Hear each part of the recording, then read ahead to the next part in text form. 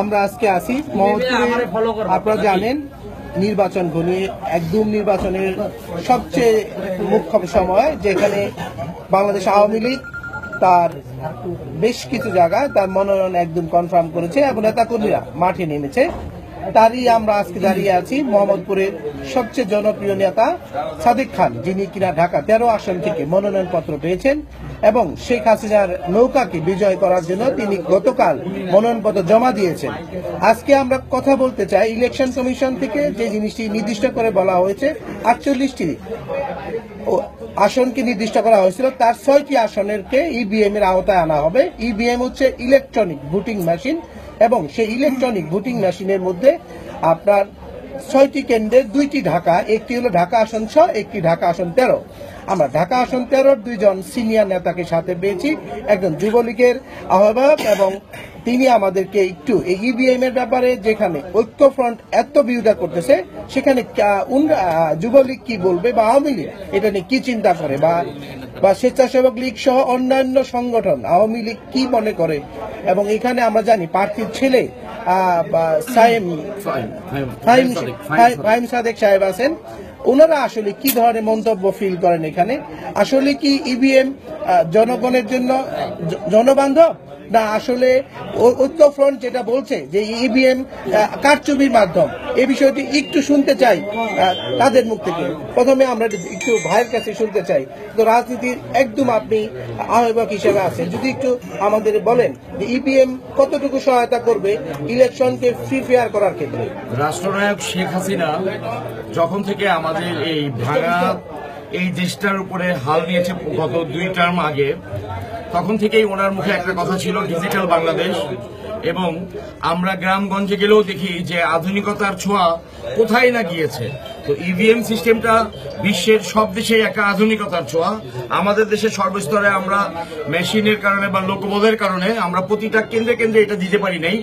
আর যেহেতু ছয়টা কেন্দ্রকে উল্লেখ করা হয়েছে ছয়টি ভিতরে- কেন্দ্র নয় ছয়টি আসন। সরি ছয়টি আসন ছয়টি আসনে সবগুলো কেন্দ্র। হ্যাঁ সবগুলা কেন্দ্রতে ইভিএম এর যে চালুটা এর মধ্যে আমাদের আসনটা হয়তো বা পড়বে। আপনার আসনটা পড়েছে। আচ্ছা পড়েছে। লটারিতে পড়েছে। তো এটা হলো আধুনিকতার যেমন আমাদের দেশে যখন সেলফোনগুলো বাংলাদেশে ফার্স্ট এসেছিল তখন কিন্তু আমার আপনার, সবার হাতে ছিল না। একটা শ্রেণির হাতে ছিল। তো ইভিএম পদ্ধতিটাও সেম যে এটা চালু করার জন্য হয়তো এই ছয়টা আসন দিয়ে শুরু করেছি আমরা। আগামীতে ইনশাল্লাহ প্রত্যেকটা আসনেই আপনার এই ইভিএম চালু থাকবে। আপনি কি আপনি কি যেটা যেটা বলতে চাচ্ছেন আপনি যে ইলেকট্রনিক্স ভোটিং মেটিং মেশিন। যে ইভিএম যেখানে ইন্ডিয়াতে ফ্রি ফেয়ার নির্বাচনের ক্ষেত্রে সবচেয়ে বড় হাতিয়ার হিসেবে ইউজ করা হয় যেটাকে ভুল ব্যাখ্যা দেওয়া হয়েছে বাংলাদেশে আপনি কি ভুল ব্যাখ্যা বলবেন ব্যাখ্যাটাকে আপনি সঠিক করবেন মাননীয় চেয়ারম্যান আলহাজ মোহাম্মদ ওমর ফারুক চৌধুরী উনি এই সংস্কারপন্থী বা এই যে আপনাদের যাদের কথা বলছেন। এদের ব্যাপারে বলে থাকে এরা আমাদের কোনো পজিটিভ কাজ কেউ তারা পজিটিভ বলে স্বীকার করে না। তো এখন তারা তো বিরোধিতার কারণে বিরোধিতা করে। তার মানে আপনি বলছেন যে ভালোকে ভালো না বলে হ্যাঁ আপনি তারা দেখান না, আপনি দেখান যে কোন জিনিসটা আমাদের কোন ভালোটাকে তারা ভালো বলতেছে। আরেকটি সুনির্দিষ্ট কোয়েশ্চেন আপনার কাছে। সাদেক খান এই- এখানে আগে আরেকজন আহ, আপনাদের সিনিয়র নেতা ছিলেন। হ্যাঁ। সা- এবং জননেত্রী শেখ হাসিনা আহ, বঙ্গবন্ধু নৌকাকে সাদেক খানের হাতে দিয়েছেন। এবং আপনারা কি ম- ম- মনে করেন যে উনি এই আসন থেকে কি কি ধরনের উন্নয়ন, একটু শেষ করতে হবে কোয়েশ্চেনটি কি কি ধরনের উন্নয়ন করলে জনগণ বা কি ধরনের প্রতিশ্রুতি উনি দিলে জনগণ ওনাকে ভোট দেবে? আমি আপনাকে বলি, কারণ সাদেক সাহেব এই অঞ্চলের যখন উনি আটাত্তর সনে কমিশনার হয়েছিলেন, তখন এই যে টোটাল যে আসনটা এখন তিনটা থানা নিয়ে, তখন এইটার থেকেও বড় ছিল তার ওয়ার্ডটা। তখন তার বয়স বাইশ বছর। তো সে তো তখন থেকে এই অঞ্চলের মাটি মানুষের নেতা। তারপরে আপনার বিরানব্বই সনে উনি যখন নির্বাচিত হলেন আবার কমিশনার নির্বাচিত হলেন তখন সে শ্রেষ্ঠ ঢাকার কমিশনার হিসেবে নির্বাচিত হয়েছিলেন। তারপরে প্রথম অ্যাক্টেন মেয়র বাংলাদেশের আজাদ মোহাম্মদ সাদেক খান হয়েছিলেন। তারপরে পর্যায়ক্রমে আপনি দেখেন হ্যাঁ জাতীয় নেতার কথা বলছেন হ্যাঁ উনি এসেছিলেন। উনি তো উন্নয়ন করেছেন উন্নয়ন না করলে পরে আমরা আমরা আমরা ওনার কথা শুনব না। আচ্ছা। আমি শুনতে চাচ্ছি যে কি ধরনের প্রতিশ্রুতি দিয়ে হ্যাঁ। আপনারা ভোটারের কাছে যাবেন? অলরেডি নানক ভাই এলাকায় উন্নয়ন করেছেন আমরা অস্বীকার করব না হ্যাঁ, কাউকে। কাউকে ছোট করে বলব না। আমি যেহেতু আমরা বলতে চাচ্ছি উদ্ধৃতি দিয়ে বললাম যে মোহাম্মদ সাদেক খান উনি বাইশ বছর থেকেই বাইশ বছর বয়স থেকে উনি ওনাকে আল্লাপাক ওনাকে নির্দিষ্ট একটা মানে সম্মানিত চেয়ারে বসার তৌফিক দান করেছেন। এবং ওনার অবদান এই সব অঞ্চলের ভিতরে। এই অঞ্চলের যারা স্থানীয় মানুষ তারা বলতে পারবে যে যেই জায়গার যেখানে রাস্তা ছিল না যে জায়গার দাম ছিল দশ লাখ টাকা শুনেন সেই জায়গার দাম এখন দেড় কোটি টাকা। এটা সাদেক খান আনাদ মোহাম্মদ সাদেক খানের অবদান। আমরা আমরা একটু একটু জানি যে মোহাম্মদপুরের জায়গায় জায়গায় বিভিন্ন সন্ত্রাসী কার্যক্রম এখনও বিরাজমান। আপনি স্বীকার না করলেও এটা- না, না, সন্ত্রাস তো একটা শ্রেণি পালে। আমি আমি একটু শেষ করতে হবে। সন্ত্রাস, মাদক ব্যবসা, শুনতে হবে। এটা আওয়ামী লীগের না। আমাকে আমার কোয়েশ্চেনটা শুনতে হবে স্যার। উত্তর দেবেন আপনি। সেটির বিষয়টি হলো এখনও জায়গায় জায়গায় বিরাজমান। আমরা আলহাজ সাদেক খানের মাধ্যমে যদি উনি নৌকা প্রতীক নিয়ে নির্বাচিত হন আমরা কি এই জিনিসটি কি সমূলে উৎপাদিত এবং মাদককে সমূলে উৎপাদিত দেখতে পাবো? ইনশাল্লাহ ইনশাল্লাহ কারণ আমি আমার মানে যতদিন ধরে আমি আলহাদ মোহাম্মদ সাদেক সাহেবকে চিনি আর যতদিন পর্যন্ত উনি ওনার নেতৃত্বে ওনার সেটা ছোট এলাকা যখন ছিল একটা কমিশনার তার এলাকার ভিতরে কোনো সন্ত্রাস ছিল না কোনো চাঁদাবাজ ছিল না কোনো মাদক ছিল না। তো আল্লাহ যদি তাকে এই আসনের দায়িত্ব দেয় আমি আশাবাদ ব্যক্ত করে বলতে পারি ইনশাল্লাহ অতীতের ন্যায় আগামীতেও সেটাই হবে কোন সন্ত্রাস চাঁদাবাজ বাদক থাকবে না। যেটুকু আছে সেটুকু বিরাজ ইনশাল্লাহ, বন্ধ হয়ে যাবে। হয়ে যাবে। আপনি কি এইটুকু বিশ্বাস করেন? আপনার কাছে সর্বশেষ কোয়েশন আপনি যুবলীগ করেন। যুব সমাজের অহংকার যুবলীগ আমরা জানি এশিয়ার সবচেয়ে বড় সংগঠন যার নেতৃত্ব দিচ্ছে ওমর ফারুক চৌধুরী। এবং উনি এশিয়ার সবচেয়ে বড় সংগঠকের বড় সংগঠনের সংগঠক এবং অবশ্যই সে- শেখ হাসিনা তার দাবিদার। আপনি যুবলীগের পক্ষ থেকে কে আপনার এই মোহাম্মদপুর থানাকে কীভাবে মানুষের কাছে ভোট চাবেন? আপনার নেতা কর্মীদের কি কি ধরনের মেসেজকে সামনে রেখে ইউনিক মেসেজ কি নাই আপনাদের কি আপনি দিতে চাচ্ছেন? এগুলা কি চিন্তা করেছেন? কিছু বলবেন এরকম কিছু? হ্যাঁ, অবশ্যই বলব কেন বলব না। সেটার জন্য আমাদের নির্বাচনী একটা টিম গঠন করা হবে একটা কমিটি হবে। তো এই কমিটিতে আমাদের সিনিয়র নেতৃবৃন্দরা থাকবেন আওয়ামী লীগের যেমন ফাইম খান এই যে ফাইম খান আছেন উনি থানা আওয়ামী লীগের সিনিয়র সহসভাপতি। উনি সহ এরকম একটা নির্বাচনী টিম গঠন করা হবে। টিমের কাছে আমাদের যুবলীগ ছাত্রলীগ অঙ্গ সংগঠন যারা আছেন তাদের কোথায় কি গ্যাপ আছে এগুলো তারা প্রস্তাব রাখবে।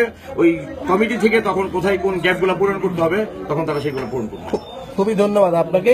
আমরা আমরা একটু ফাহিম সাহেবের সাথে একটু কথা বলতেই চাই। ফাহিম ভাই, আপনাকে ভাই বলি। ফাহিম ভাই, একটু শুরুতেই আপনাকে স্বাগতম। যে বিষয়টি আপনার কাছে আমরা সুনির্দিষ্ট ভাবে বলতে চাই, যে এই এই দেশে রাজনীতিতে যে জিনিসটি আছে বংশ একটা ব্যাপার থেকে যায়। আপনার রাজনীতি সেরকম একটি পার্ট কিন্তু আপনি কি আমাকে বলবেন যে আপনার, আপনি ইয়ং এনার্জেটিক নতুন কিছু চিন্তা করার ক্ষমতা পুরাতনদের থেকে বেশি। এটাই স্বাভাবিক। আমার বাবার থেকে আমার আইটির উপরে বেশি ধারণা থাকতেই পারে। আমার বাবা জ্ঞানী লোক। আমি আমার বাবাকে অবশ্যই জ্ঞানী মনে করি। আমার বাবা জ্ঞানী। আপনি কি আমাকে বলবেন যে নতুন যে প্রজন্মের জন্য মোহাম্মদপুরে অনেকগুলা মাঠ আছে, প্রায় একটু পর পরই আমরা ছোট ছোট মাঠ দেখতে পাই। এটা দারুণ একটা জিনিস। আমার খুব ভালো লাগে। আধুনিক শহর হিসেবে মোহাম্মদপুরকে ধরা হয়, পরে উত্তরা।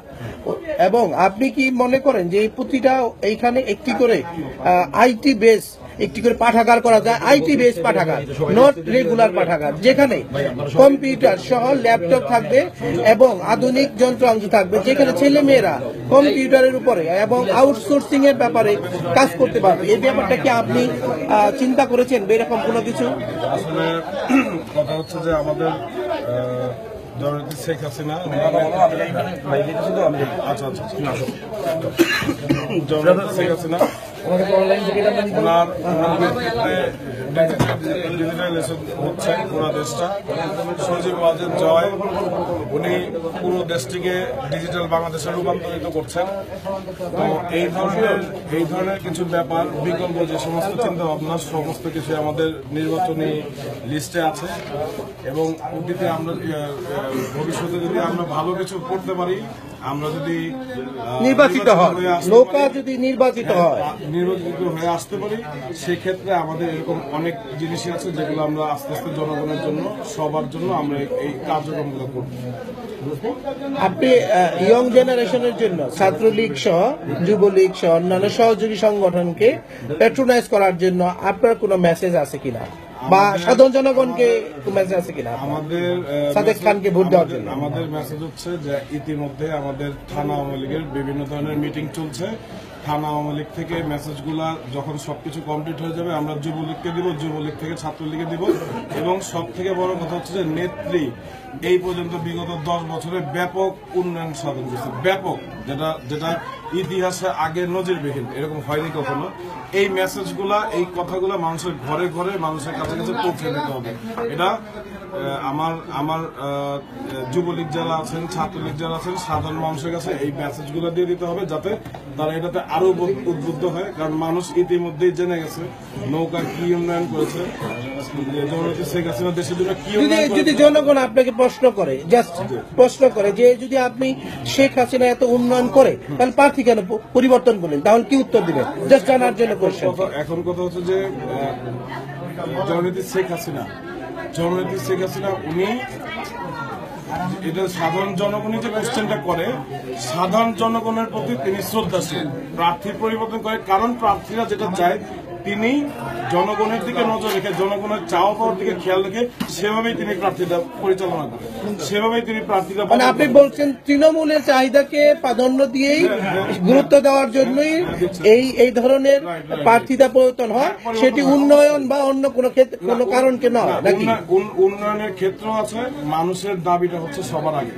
মানুষের দাবি সাধারণ জনগণের দাবি সেটা হচ্ছে সবার আগে যেটা আমাদের জননেত্রী শেখ হাসিনা এই জিনিসগুলো সবার আগে লক্ষ্য করে এবং মানুষ আমি আমি যদি একটু একটু ইন্টারাপ্ট করি আপনার কথার মাঝখানে, আমরা এসেছিলাম, যেদিন আপনার বাবা নৌকা নিয়ে এখানে প্রথম এসেছিলেন, মানুষের ঢল দেখেছি আমরা সেদিন, এবং নারী, পুরুষ আবাল বৃদ্ধ সবাই এখানে এসেছিলেন, তাদের মুখে একটা উৎসাহ ছিল।